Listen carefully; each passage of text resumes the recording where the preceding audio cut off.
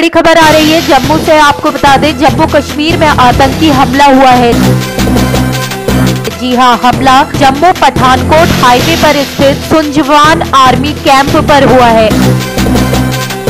इस मामले में सेना का एक जवान शहीद हो गया है, जबकि तीन नागरिक घायल हो गए हैं। आपको बता दें, घायलों में एक जवान की बेटी भी शामिल है। आतंकी रिहायशी इलाकों में निशाना बना फायरिंग कर रहे हैं।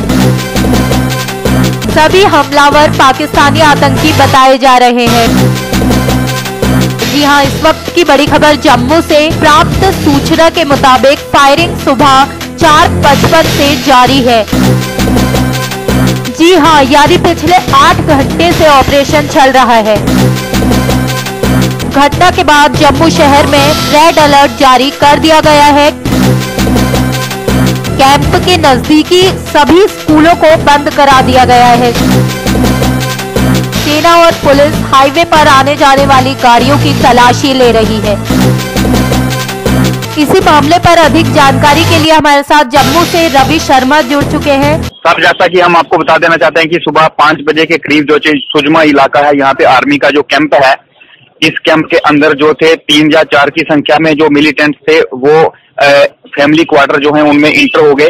और जो सबसे पहला इनपुट हमारे पास आया था उसमें एक जेसीओ आर्मी का जो था और उनकी एक छोटी बच्ची जो थी वो घायल हो गए थे। जहाँ पे इस समय मैं आपको बता देना चाहता हूँ कि जो मेन गेट है आर्मी कैंप सुजमा का उसके बाहर जो है पूरी तरह से बंदोबस्त जो है सुरक्षा के चाक चौबंद है। पुलिस के जवान यहाँ पे तैनात हैं। और बख्तरबंद गाड़ियाँ जो हैं पुलिस की वो यहाँ पे तैनात हैं और साथ ही साथ आर्मी के जो कमांडोज हैं वो यहाँ पे तैनात हैं।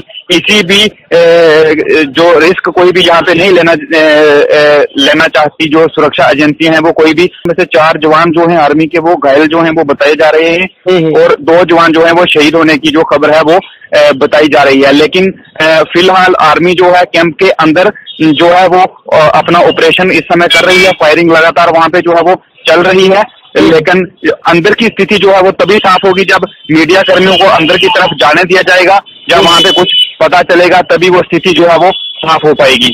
अभी तक तो किसी मिलिटेंट के मारे जाने की कोई खबर जो है वो हमारे पास अभी तक नहीं आई है, क्योंकि हमला जो है वो इस समय कैंप के अंदर चल रहा है।